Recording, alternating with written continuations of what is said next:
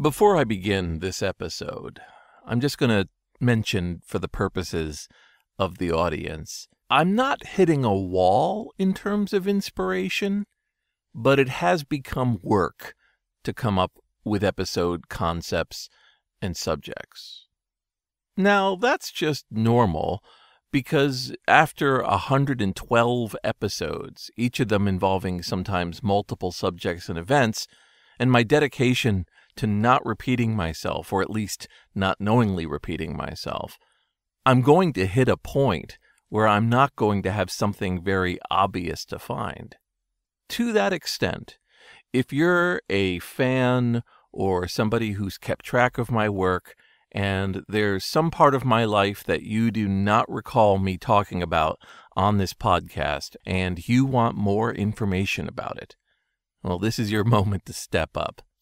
Either reach me on text files on Twitter, come to jason at textfiles.com, which is my email address for everything, and let me know if there's something out there you think this podcast should cover. But before I run out completely, let me talk about an incredible bounty. This is Jason Scott Talks His Way Out of It, a podcast about technology, history, and getting myself out of debt.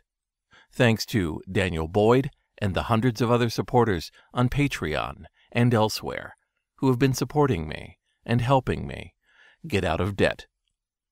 One of the advantages to being known as the Angel of Death, he who stands over the destruction of web and online history, is that I've learned to really appreciate what we have now places, events, people that are here with us now that we are benefiting from and which may not always be there forever. If I visit a place that means a lot to me, I walk around it a few times. I try to really soak it in to understand what I'm looking at.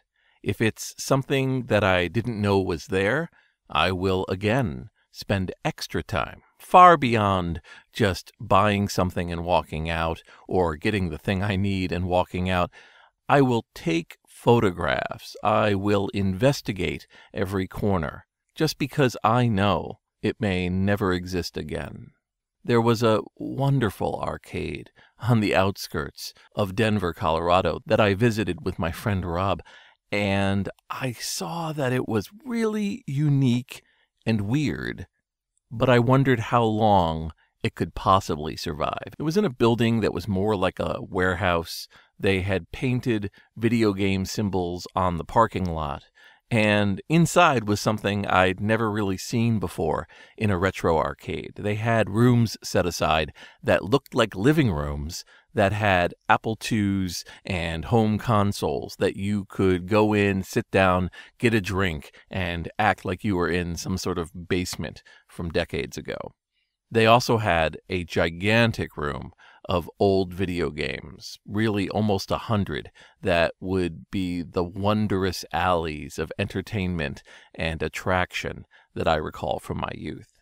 Everything about it said this will either stick around forever or it won't last much longer.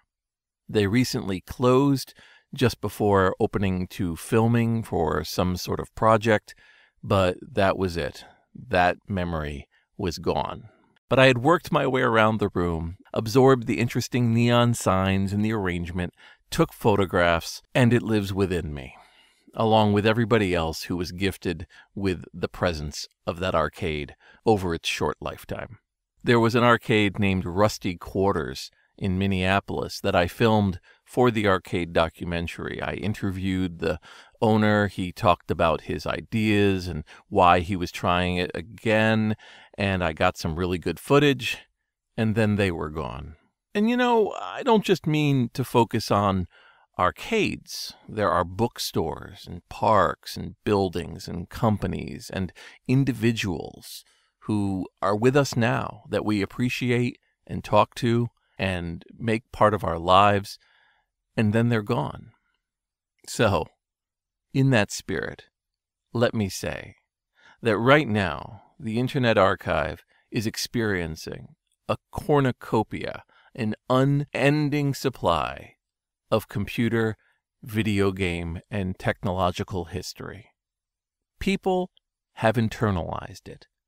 Take the paper, the photos, the data that was part of your childhood, part of your present day, and get it up to the Internet Archive where we'll make it readable, make it emulated, make it available for everybody else. There are thousands of items being uploaded to the archive every day, and hundreds of those each week are what I would call vintage computer artifacts.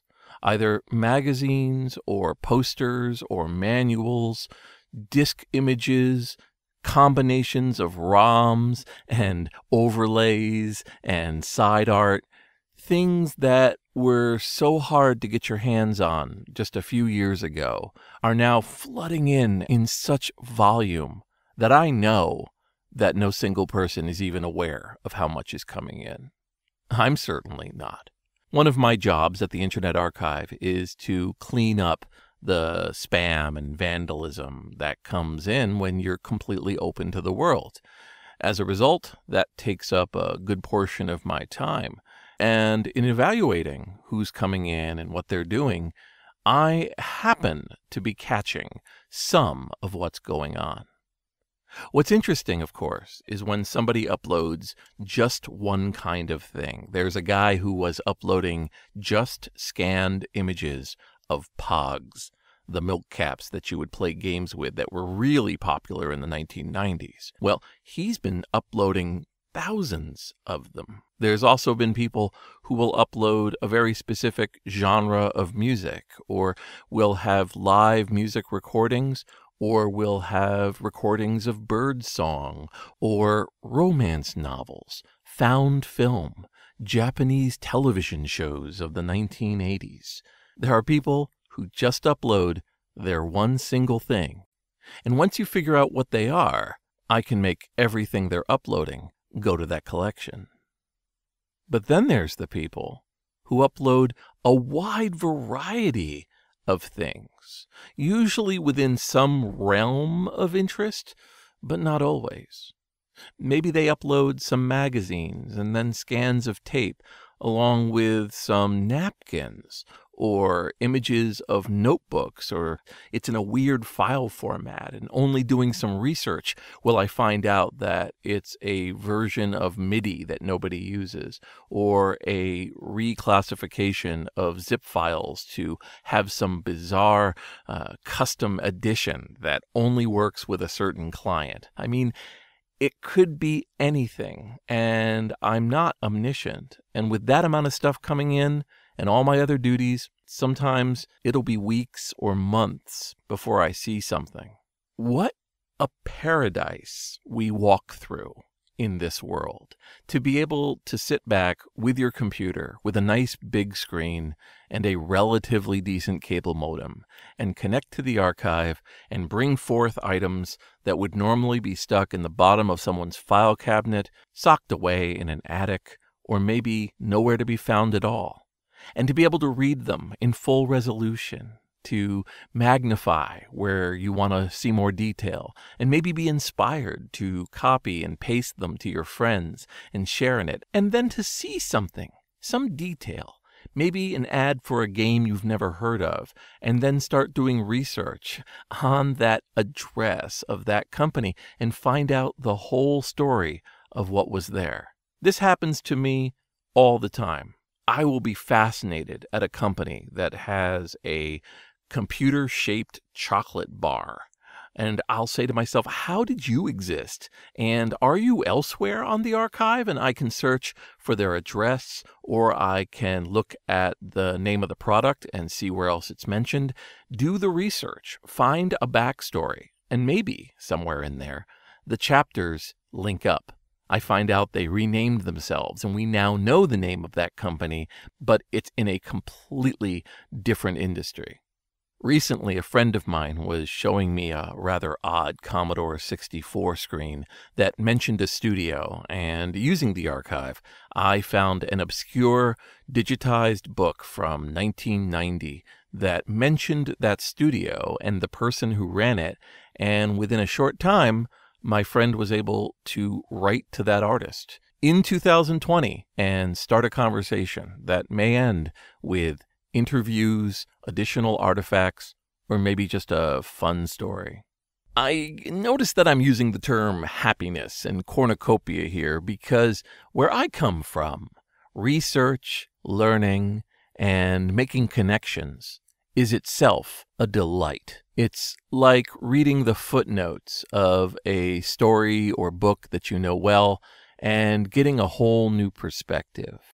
I read Compute Magazine and Creative Computing and a lot of other magazines when I was in my teens, but I didn't fully understand the context of what I was looking at, who was publishing what, what commercial interests were involved, what deals were being made behind the scenes. All of that was opaque to me. All I saw were the designs, the drawings, the people making promises, promises I assumed they could keep. And with limited funds, it wasn't like I was going to be buying any of it. It all just existed in my mind as dreams. Dreams that have stuck with me forever. To this day, I still get a chill when I see uh, a rainbow or multi striped design from the 1970s or 1980s. There's something about that aesthetic that just brings me back, makes me feel safe, like I'm in a New York summer and I'm 11 years old. That's my deal. I know that buried in these piles of incoming scanned items are similar treasures and memories for others. I'd like to do more to make them available. I've written scripts over the years. They do all sorts of analysis and they try to find themes and build up collections from them. But it's never going to be perfect. Every once in a while, I'll find a new cache that I didn't know was inside of the archive's incoming folders because I didn't know that was a term, or I didn't think to look inside of a zip file for a bunch of PDFs of magazines and folders and newsletters from one particular place. People were not given a whole lot of instructions to upload to the archive. They drag the folder in, they think they're done description, metadata, it's kind of optional the way we do it. And one of the ways that we have trouble down the line is trying to figure out what exactly did this person upload? Where did this come from? Was it the original creator? Did they find a collection somewhere else? So I'm always on the hunt, always kind of sitting by the river of incoming material to see what else might be missed? What else might have a second or third life in research and entertainment and nostalgia? Whatever happens in the future to myself, to the archive, to the audience, to discs, I know that at this moment, this shining, beautiful moment, we have been given a treasure that we could have only dreamed about 20, 30, 40 years ago. The road extends infinitely. The possibilities defy quantification. Maybe after you're done hearing my voice here, you can put down the headphones, turn off the speaker, go to archive.org slash details slash open source, and just let it wash all over you. Let the discovery begin. This is Jason Scott talks his way out of it. Thanks to Forrest Fuqua, James Bekoyanu, Mark Pilgrim, Scott McGrady, Scott Roseanne, Wayne Arthurton, Joshua Stein, and the hundreds of other supporters on Patreon and elsewhere who have been supporting me and helping me get out of debt. By the way, if you're a little worried that I mention about subjects becoming more and more difficult, please don't worry too much. I just have to sit down, quantify things, look back over blog posts and emails and conversations, and I'm sure I'll have plenty for some time to come. But I always know that people take an interest in things differently than I do, and I would love to encourage the voices out there to reach out to me. And don't worry, you're not bothering me to give me ideas for episodes coming up. So I'll make an episode about it. Thank you for the idea, and maybe we'll both learn something together.